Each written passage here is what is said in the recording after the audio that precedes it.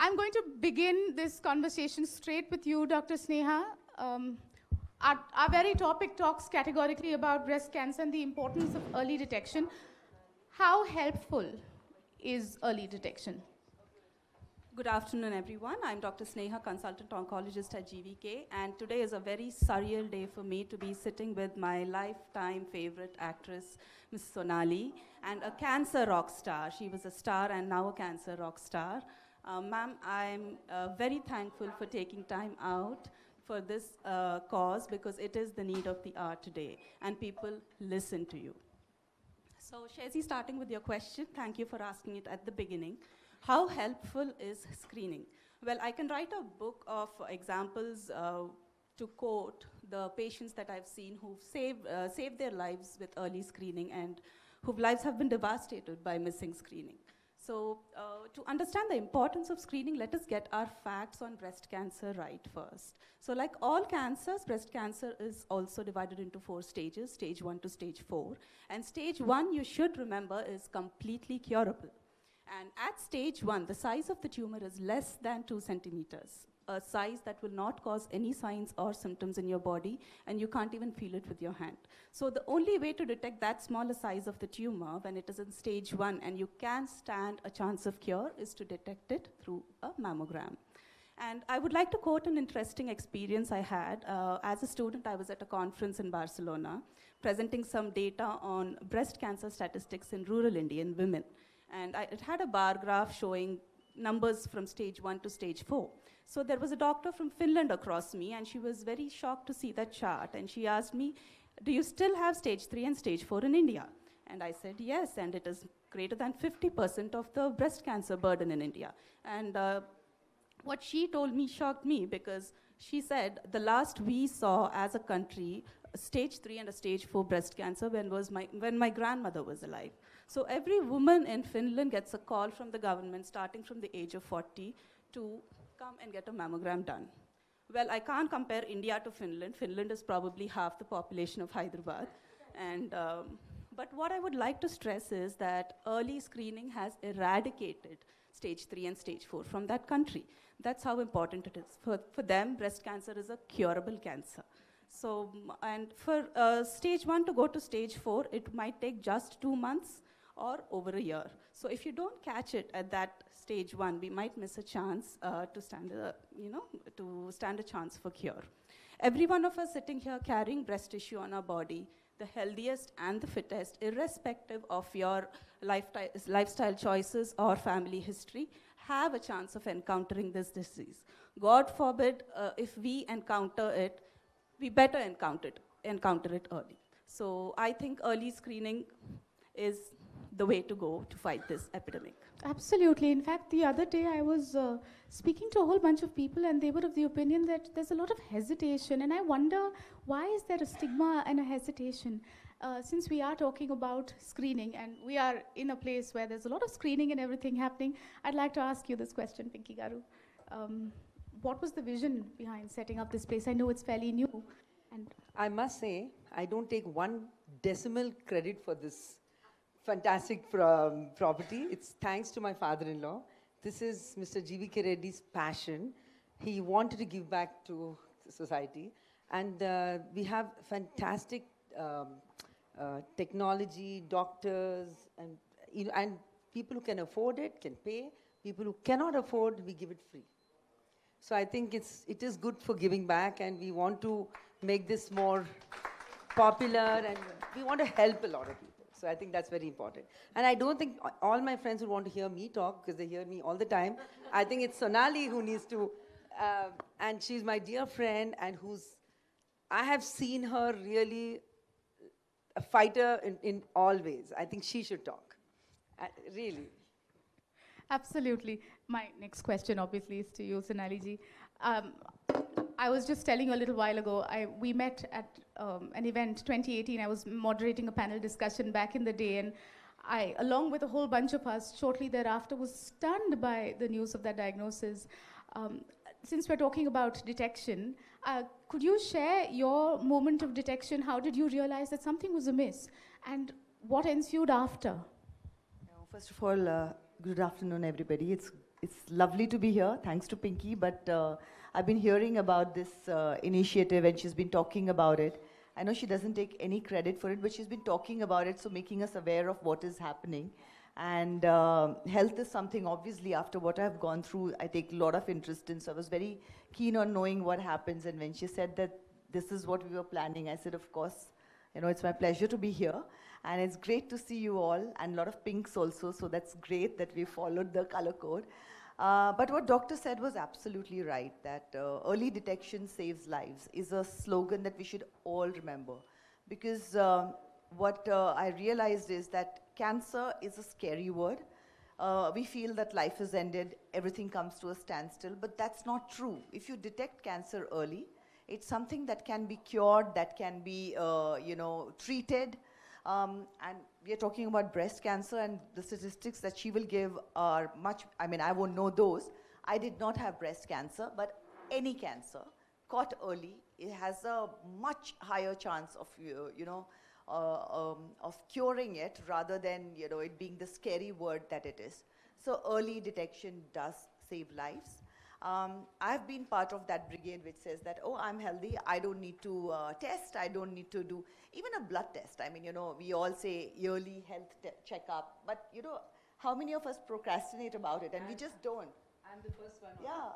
And my husband's always shouting at me that, get your test done. Yeah, exactly. And we're just like always not So I'm going to register myself here as well. we are i want to see her do that Yeah. but that's the thing this is just going through it regularly and catching it early it just it you know saves you from so much more pain because uh, cancer is one of those diseases which i feel that the treatments for it are so much more harsher than the disease itself.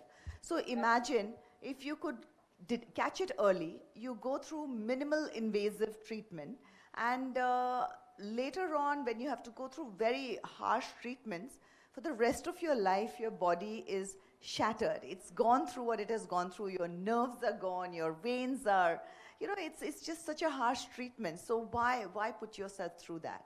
And um, that's why early detection is extremely important. Thank you. Thank you for that, ma'am. Uh, and I'm, I'm fairly certain a lot of us are feeling already plenty motivated, Pinky Garu to begin with. Uh, ma'am, you just discussed the fact that it is a debilitating disease physically, but it really takes a chunk out of you mentally as well, doesn't it?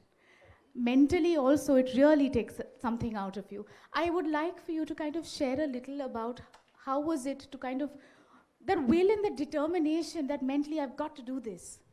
Well, my son was very young, so that was my will and determination. I needed to survive for him was my the thought in my head. I think most of us are, and actually, uh, um, you know, especially when I go to the hospitals, like when you go to Tata Hospital and all of you know uh, various places in our country, when you go to the smaller hospitals, and uh, you will never call me a warrior again. You will never say I'm strong again. If you see the women and how they deal with it, I've had a great support system. I'm blessed. I had everything that could be given. I mean, there are uh, women who are dealing, who are pregnant, who are dealing with young children, who are dealing with the families who are refusing to accept them back and think that it is their fault. I mean, when you see what they are going through and the treatment that they're going through and coming out of it, that is an eye opener for me. And you know, it just makes you understand. I, you know, you, you realize how blessed you are. So I would say that it, whenever you go through something physically, of course, it takes a mental toll. And um, when you look at how fortunate you are, you look at the positive side of it, when you start to look for it, then suddenly the glass is half full rather than half empty. And I know these sound like cliches, but literally small things like that is what take you through. So um, through my treatment, there were two hashtags that I had formed. One was one day at a time and switch on the sunshine. And one day at a time was that's what it was because you know unless you the moment you look at oh my god I don't know when the treatment is going to it overwhelms you. So for me it was like let me get through today and I'll deal with tomorrow tomorrow which helped me kind of live in the present, which is what our culture teaches us, which is what everybody and our parents have always told us that live in the present. Easy to say, difficult to do, but that did help me do that. And switch on the sunshine. It's like switch it on. Every time you think you, something is pulling it down, you say, I'm going to switch it on. And look at the positive side of it and you know kind of start uh, thinking of it from that angle and that's how it is and then mind is definitely something it can make your body do amazing things and if you're if you can get your mind to work with you in healing then your it will your body will heal it will it will um, take to the uh, treatment much better Beautiful. So, so lovely. Can we have a little bit of an applause for that, I think? You know, I mean, I it- remember her when I I went to visit her a couple of times in New York. Yeah. How many how, how many months were you in New York? At For one year? Two years? uh, you know my first one was a six month chunk and then yeah three months Yeah. and your son, how old was your little Uh, boy? when uh, my son at, at that point was uh, was 12 when uh, I was diagnosed, and then uh, obviously he was 13 year old through my treatment, and yeah. We were just having a conversation about a 12 year old, and my heart is. I'm going to contain that. and we're going to move on to, since we are talking about, since the ball has been set, yes. My question to you is um, if I had to do an examination, a self examination at home, how would I go about doing it? And um, could you share a few signs or symptoms that should be a red flag? So, uh, breast cancer screening has two modalities. One is a self examination, and the other is an imaging through ultrasound mammogram or a breast MRI. So, breast self examination is the most underused, the most powerful DIY technique that you can do without stepping out of your house and which can catch this lump uh, early on. Uh, firstly, I would like to explain the technique of self examination. There are three positions in what you have to do a lying down position, a sitting, and then a standing. So, when you lie down, preferably without your clothes, use the flat of your fingers. Do not examine or touch your breasts with the tips of your fingers because normally the breast tissue is made up of glands that produce milk and you may feel lobules. So uh, you might mistake it for a abnormal lump. So if you use the flat of your fingers, you would be better able to differentiate a really abnormal lump from a normal breast. So go clockwise or anti-clockwise using the flat of your fingers, covering the entire area of the breast, applying adequate pressure. And then after you finish examining both the breast, sit up, raise your arms and one underarm at a time examine both your underarms because the first place where the breast cancer can spread is to the lymph nodes in your armpit. So there can be lumps there as well. The, the last one, which you shouldn't miss doing, is some non lump symptoms that you have to look for. Stand up and look at yourself in front of the mirror and notice the symmetry of the breast. Is there a change in the shape, in the size? And the nipple areolar complex is what you should also concentrate. Any recent pulling back of the nipple is a red flag sign. Some women have retracted nipples right from puberty, but that is not significant. A recent pullback of the nipple is significant. Any discharge from the nipple, any ulcer over the nipple, any changes on the skin of the breast, like in terms of color or texture, dimpling. So it's good to know all these signs, not just for ourselves, but we have a great amount of working women force in our homes who are um, who don't have access to this information. And when they come up to you and say, "Amma, I'm not," uh, this is something that's happening. You should be able to recognize that little sign and send them out to a doctor. So this is how you do a breast self-examination, and it's also important to practice it regularly, at least once a month, mainly because you get used to knowing what your normal breasts are.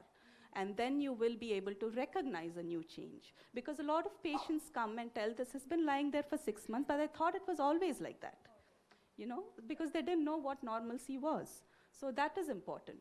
And um, a very important experience that I would like to share is once in, to our hospital, a little child of two and a half year old uh, was brought in by the parents, and he had a distended abdomen, and he was diagnosed with a kidney tumor. So I asked the mother, uh, since when did you notice this? And she said it just progressed over two weeks, and she was weeping. I was sitting there taking my notes and feeling bad that this tumor didn't give him any time. And then my senior consultant walks in and he asks the mother, So who was bathing him every day? And for a second, I'm like, How was bathing and hygiene related to cancer? But what he meant was, Who was touching the body every day? Who was, you know, touching him regularly to find it early on? And then um, she said she's a working parent, and uh, the mother in law was taking care of the child. So we asked the mother in law to come next time, and the mother in law did say that on the left side it was hard for four months. But the child did not complain of anything, and that's why I didn't know it was important. So things like that happen only when you take time, five minutes, sit down, check yourself, and you know, especially breasts and abdomen where you can feel lumps deep inside. So what could have gone away with just removing a small tumor had to be, you know, uh, his entire kidney had to be knocked off, and there's a high chance of recurrence. So that's how we miss these small signs. Uh, now that we don't have treatments for many of the stage 4 cancers, we have to, uh, have to struggle on catching it early because there is no hard and fast rule that I can be, you know, um, I'm, I can be cancer immortal. It, cancer can come to anybody, and we've been seeing that day in and day out. In fact, you know, I think Sonaliji was also mentioning a little while ago, you have this belief system, oh, it could happen to the rest of the world, can't happen to me, you know. Yeah. And, and uh, you know, you spoke about this little boy, but the reality is that a lot of us uh, women, no matter how evolved we may think we are, we have this conditioning that we are providers. We must provide and take care of everybody else in our ecosystem. We're fine, we'll figure it out, right? Um, and I firmly believe that we are the creative life force on the basis of which our ecosystems flourish and thrive, right? Which is why my question is to you. Yes, to you. Ma'am is already committed to getting regular screenings done, but would you like to add on to this point? Do you really believe that, uh, you know, the importance of a woman in a household or in a workplace is just tremendous, and everything around her flourishes because of her? Absolutely. For example, we've seen in generations, my mother, my grandmother was like the center point of the whole family. My mother is, I guess even I am. I think every woman in their home is the most important. So I'm, since I'm saying this, I promise I'll come back from my next trip and I will get my test. Literally, that's the only reason I why. like the I way asked. she has said after my next trip. She's already postponed it. No, but the reason why I asked, ma'am, No, but this it's a is- fact. It's, you are absolutely spot on. I mean, you know, I think each one of us know how impo- our families know how important we are, and it's very important that we. If not for us, I think if- if a woman collapses, the whole household collapses. You know, even if they don't want to accept it, the guys don't accept it, but it's a fact. The kids want the mother, the husband wants the mother, the whole family wants the, even whether to fight or to love or to whatever. We're there. I see Or the punch bag. To fight or to love. yeah. and I see the men cheekily smiling also. no, okay, so I'm, I'm actually Krishna, grateful. Come in the front. Come, come, come. Ah. Yeah. I'm grateful that you, you mentioned this. Like I said, the reason why I was so keen on highlighting this is that we forget, but we really mustn't. So please go get yourself screened on time, okay? But now that we somewhere women have the conditioning also that you know uh, uh, somewhere even however educated we are and everything um, it's the it's the male in the house who's the bread earning kind of a thought process is that and has to be looked after and We has to women keep ourselves in the back. yeah We like so look after everybody, but we forget about ourselves. And which is very important, I think. we needs to remember about the women. So all the men here, please go back and take care of the women in your family. Remind them that they should go for the checkup. It's your jobs now because they are doing some other jobs for you. Yes. Ma'am, since we did speak about families, um, and if you're comfortable sharing this, um, you know, what the person is going through is difficult, but to see your loved one go through this also is, is something else altogether. How was it for your family to cope, ma'am? And I know, you know, Ranveer was very little. No, he, uh, uh, so uh, I think um, I've always said that I struggled. Everybody does. Like we spoke about the mental health, and I took help for it. And you know, at one point, you know that um, sometimes you can't break through. How much ever you might say hashtag this and hashtag that, it's great. But there are times when it's you need the help, and you need to understand that you know what it's going to a area where I need the help, and then you reach out and take professional help. And in the same way, I would say the primary caregivers or the support system or need help and they need a support group. And so, um, I mean, if your facility also can organize it and all that, if you can have support groups, because what a primary caregiver goes through, uh, only they know because, you know, the patient gets the attention. But the person who's looking after the patient is also struggling and is going through so much. They're seeing their loved one go through it. And, you know, also there are times when you're in pain and you're, you know, they, they feel helpless. Um, so there's so much that they're going through. And a support group really, really helps. So these are the groups that uh, help you deal with it. Sometimes there are, um, you know, small things that uh, maybe uh, nothing, I mean, doctors help, but there are certain small, small things that um, just caregivers can help you with because uh, doctors come and give you the medication and all of that, but somebody who's looking after uh, them every day, they have certain tips that really make a difference, you know, and it can be the side effects of the medication that um, how to deal with it. Like you know, when you go through the chemotherapy that I was going through, your from your gums to your mouth, everything is bleeding because uh, all soft tissues are just bleeding. And now, if your gums and your teeth are bleeding and you have to eat, you know, that's just an open, it's an open pore for infection. And sounds gross, but that's what it is. But just a tip from a support group or a caregiver which says that, listen, without fail, every night, gargle with baking soda. As simple as that. And I never got an infection in my mouth, and it was just that done. So things like this, which are not very big, but make a big difference. And that's where the support group, the mental health, all of that comes in to help you. Because, see, the moment there's an infection, it's going to set you back from recovery. Because, uh, so the idea is to not let any infection take over while your treatment is going on. So your body can only focus on what it needs to focus on. And this is where all these other things help you with. Thank you. Thank you. It, it, it's such a, it takes a lot of courage to kind of really share all of this. And I'm sure everybody over here, no, not gross at all. My God.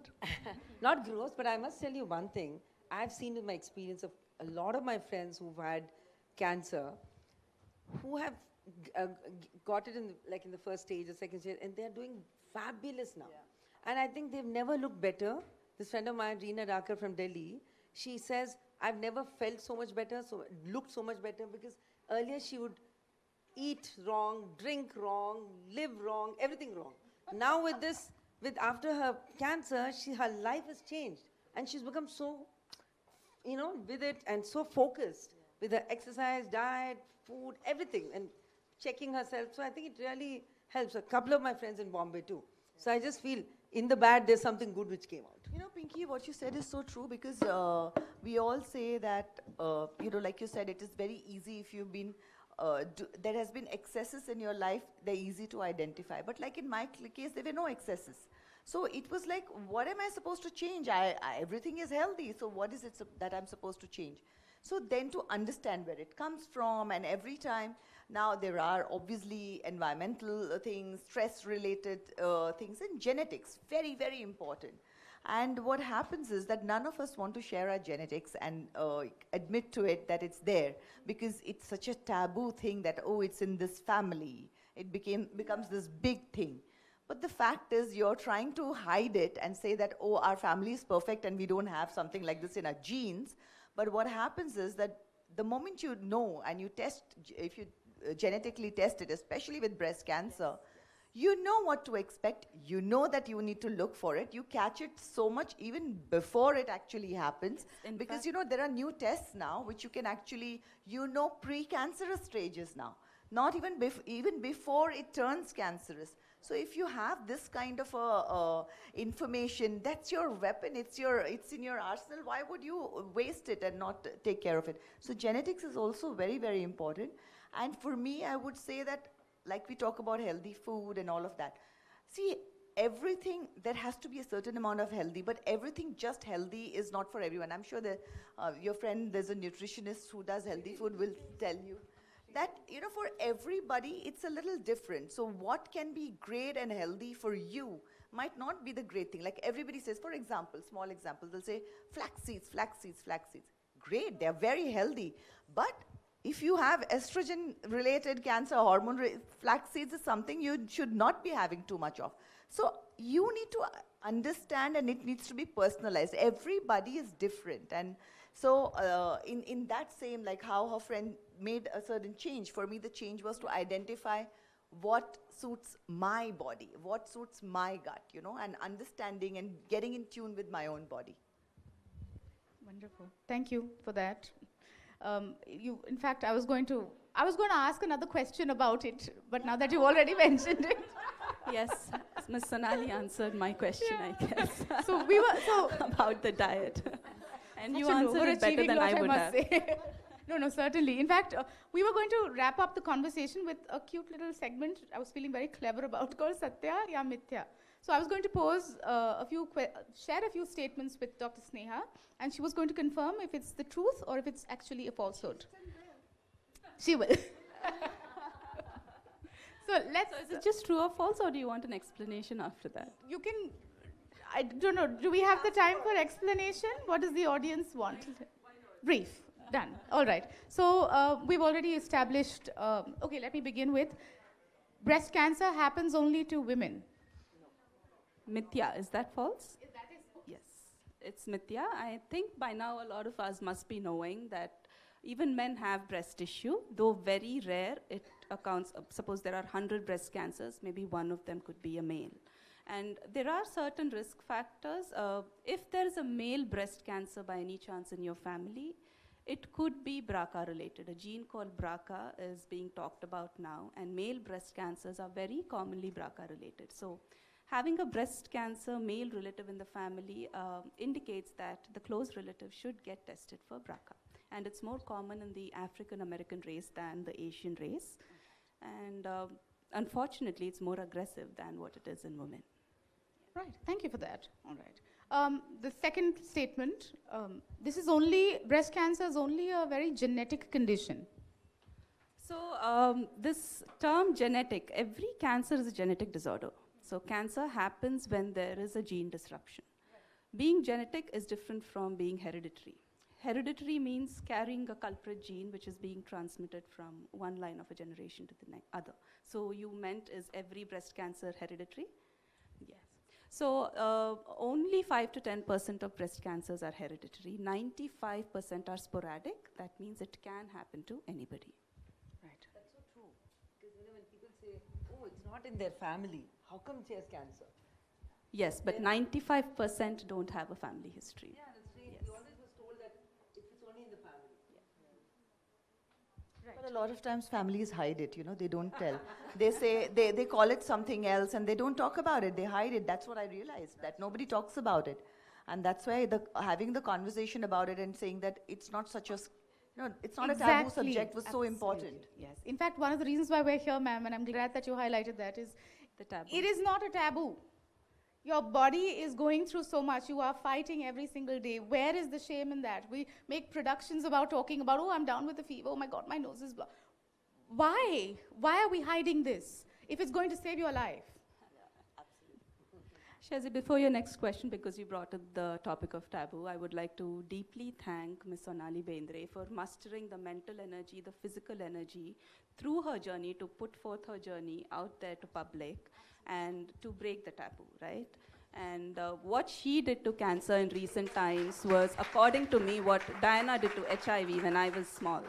So I would sit there and watch Nat Geo with Princess Diana, you know, hugging HIV patients. And now, when Sonali posted her story on Instagram, and I showed it to many of my patients, uh, Sonali, who would sit there distraught at the time of their diagnosis, weeping. And I also had a patient who was threatening her husband that she would commit suicide if she loses her hair. And your post would just wipe their tears.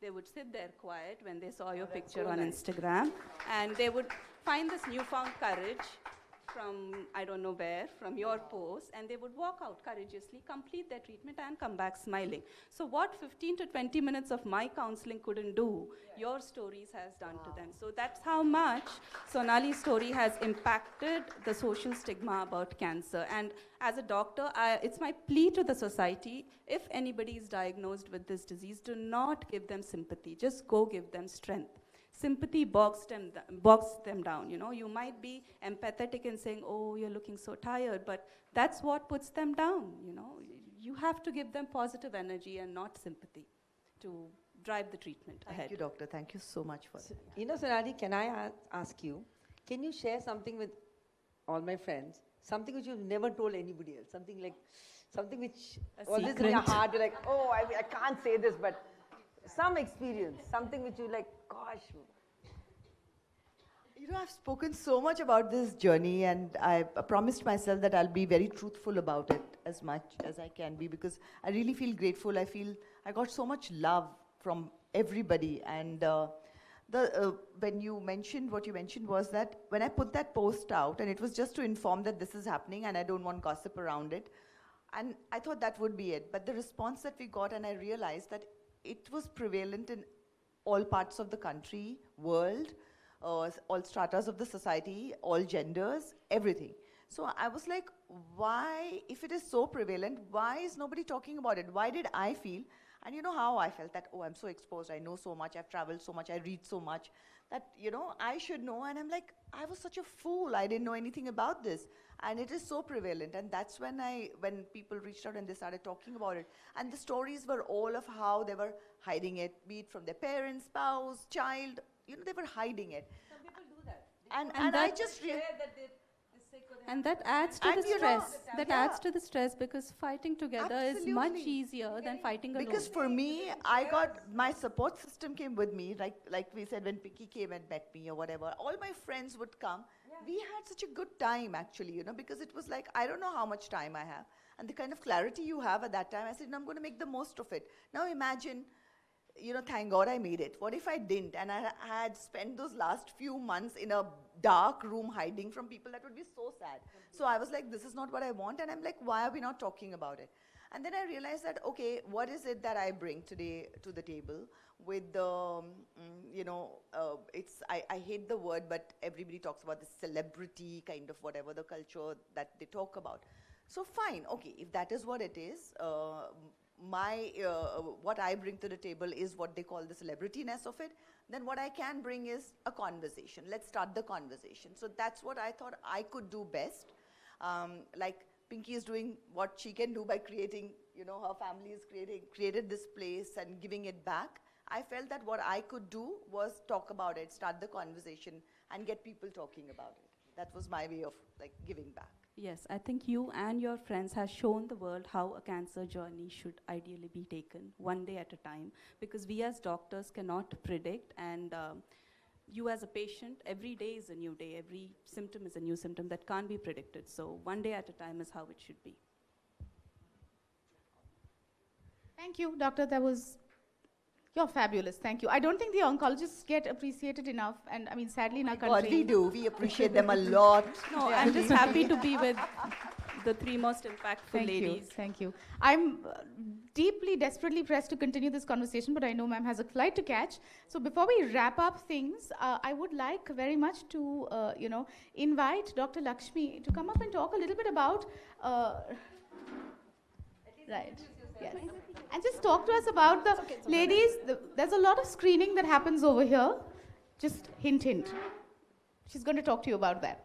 a very happy, I think very eventful, very inspiring and very motivating evening I feel for all of us. Is it not? It was really motivating. And as we all know and now we all agree that screening at right time and early diagnosis, taking treatment and also checking a lot of things, monitoring factors during our treatments and also checking out the prognostic uh, indicators and all that during the treatment part and all that are very crucial for any disease, but especially for cancers. So, in general, I can say I'm very glad and very happy to inform you all that all this can be done at our GVK Health Club Hub, at our lab services, and at our radiology departments. Everything can be done at our place. I think now we are all aware, and the facility is for you, and it's all our choice to just go ahead and as Pinky Madam promised that she's going to have her health checkup. I think we should all uh, take a vote that, you know, we, we are aware, but we have to use the facilities and we have to use the opportunities and go ahead, take a vote that yes, we get screened at early after my next trip. Yeah.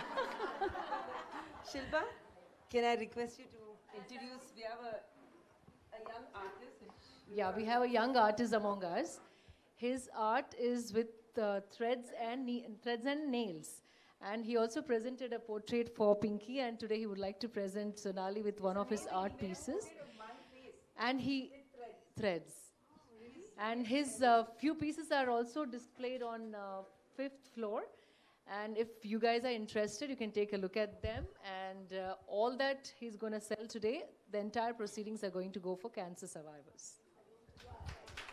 And they're very well priced. so you I, can. I, ple- I request each one of you all to come upstairs to the fifth floor and have some coffee. Padmaja, you'll enjoy the coffee. yeah. Just see, that's all made of thread.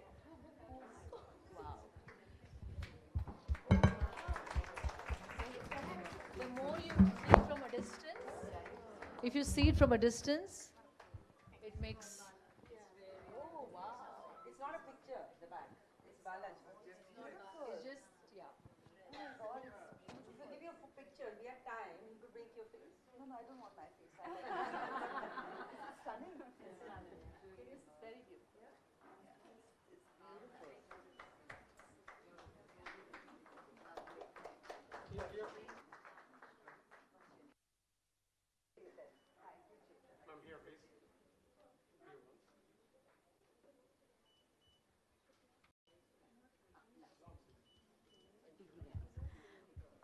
Before we wrap up um, our conversation today and partake in the deliciousness of the high tea that's organized for you all on the fifth floor, if you all have any questions for our amazing panelists, now is the time to ask. I'm uh, going to request a few people to uh, help us with mics if you all have any questions and if you.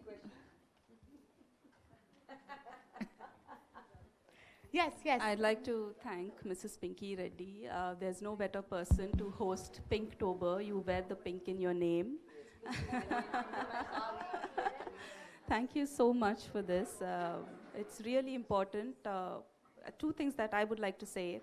Uh, you all must be aware of Mr. Nori Dattatreya, a very eminent oncologist, the first in the country who, has, who is at New York now. And he said in one of his interviews to listen to the whisper. The body only whispers before it screams out aloud, and don't miss that whisper. Sometimes it's important for us to search for the whisper also. Number two, uh, we are the privileged uh, sector of the society, and uh, we have access to information, we have access to mammograms, but the larger working force in our houses and offices are those are the ones who need the help. If you can, educate them, uh, about routine screenings, send them for screenings, and if possible, sponsor their screenings. That's my uh, little request to you all today. Thank you. Thank you. Thank you, everybody. Um, we have high tea arranged on the fifth floor. I request everybody to step up, please. Thank you.